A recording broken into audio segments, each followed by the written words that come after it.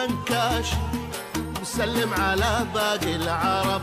وانت ماشي كل على ما يسر. مرحبا شلونكم؟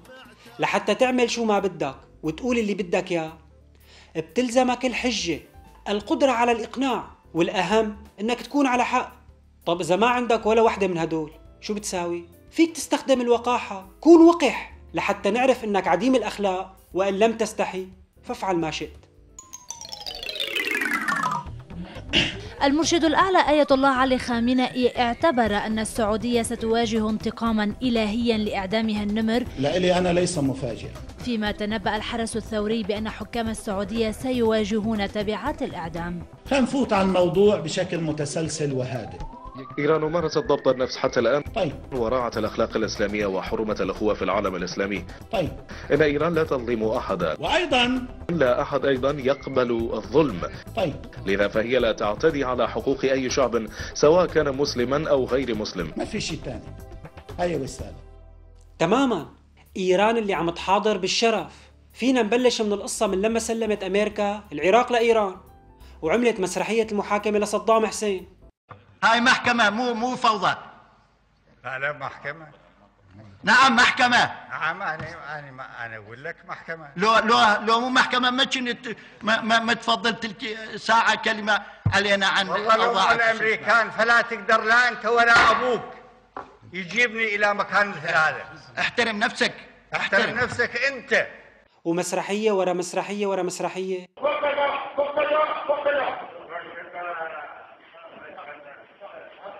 تدخل إيران بالشؤون الداخلية للدول العربية واللعب على الوتر الطائفي لبسط السيطرة والنفوذ صار على المكشوف وبلش من مسرحية إعدام صدام وبلش معه خلط الوراء وتجنيد الناس ومثل ما عنا بسوريا صارت سوريا الأسد كمان الشيعة صارت إيران بس يا ترى مزبوط هالحكي؟ وإذا كان مزبوط مين عم يساعد بدمج الهويتين مع بعض؟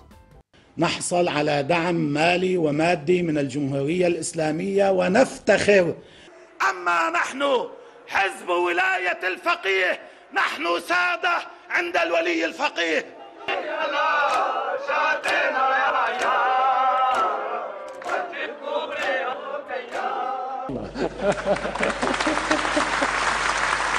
وهدول عملاء للنظام الشيعي الإيراني تبع الخامنئي ولا عملاء لإيران؟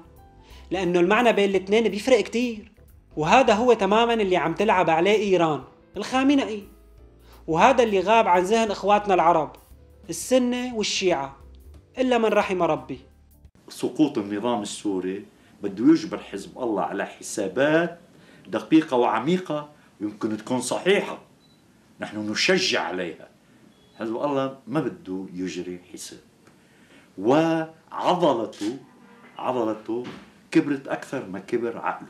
من النظام الإيراني لأن النظام الإيراني يا شيعة العراق يا شيعة لبنان يا شيعة سوريا واليمن إن النظام الإيراني يتخذكم جسرا ومحبرا وأدواتا ليتغلغل في الأمة ولا يحسب لكم حساب.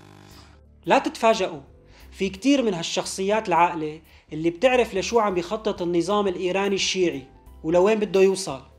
وطبعا في كتير لقلي عم تساعد وتمهد. هاد مو لقلوب هاد كابتن لقلوب كل هالخبز الإيراني مشفوع بنياطة أسوأ فترة ولاية أمريكية لدرجة بتخليك تحس إنه أوباما مو رئيس الولايات المتحدة الأمريكية. أوباما هو الولي الفقيه بذات نفسه يلعن روحه. والله خلصنا من ولايته على أهون سبب. المهم مع كل هالخبث والنياطة زادت الوقاحة. واستمرت العاهرة تحاضر بالشرف.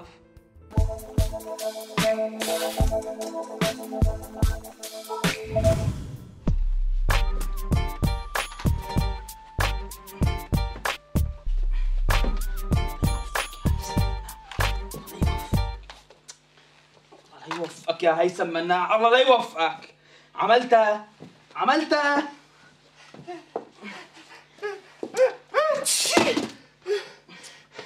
ابني الله يرضى عليك. في مجال تمد إيدك تساعدني الله يوفقك.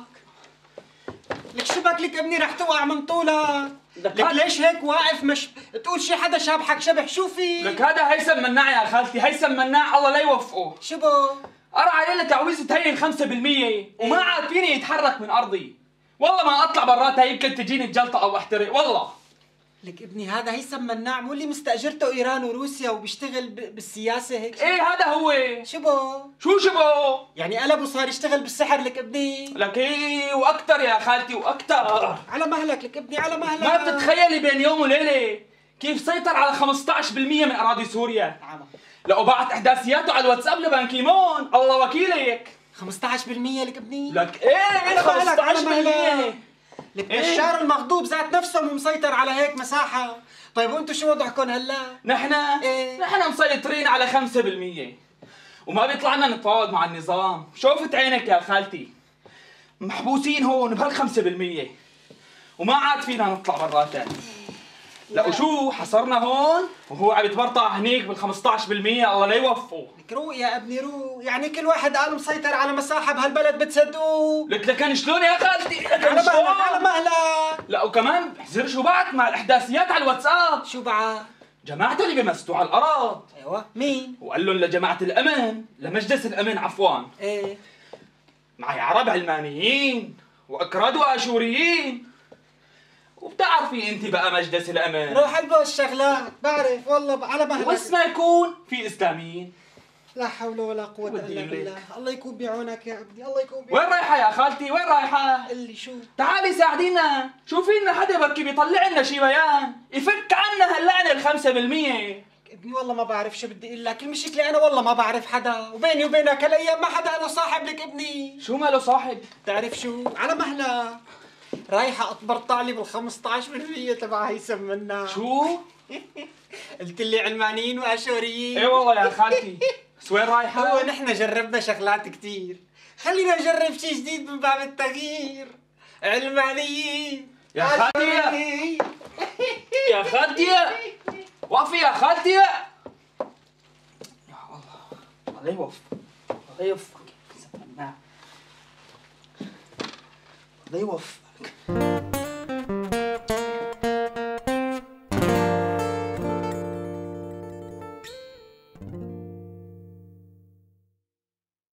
حرقوا السفارة السعودية ليش؟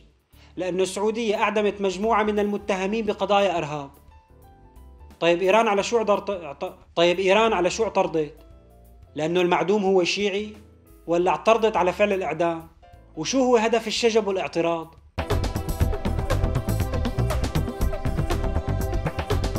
يمكن إيران بتشمئز من أحكام الإعدام وبتعتبره منافي للقوانين الإنسانية.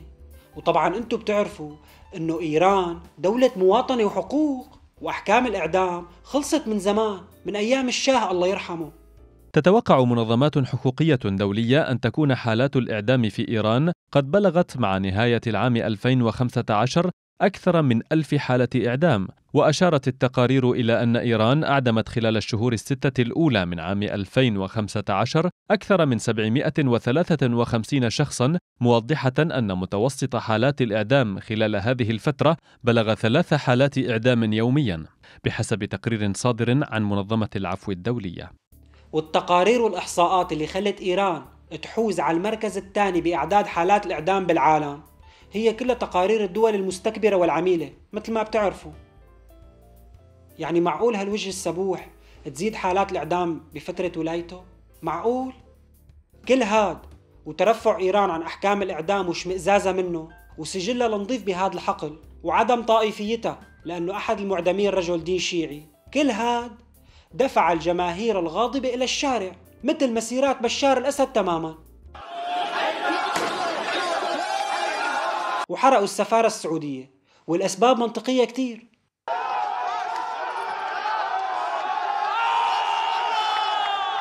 المهم الهدف والغاية لطهران من كل هالشي مشان توهم الشيعة العرب إنه هي مع الشيعة في كل مكان وزمان وإنه هي سند قوي سند قوي للشيعة ضد حكوماتهم سند إقامة. بس هي شو عم تعمل يا حزركون هي عم تحط الشيعة بكل بلد بموقف محرج للغاية.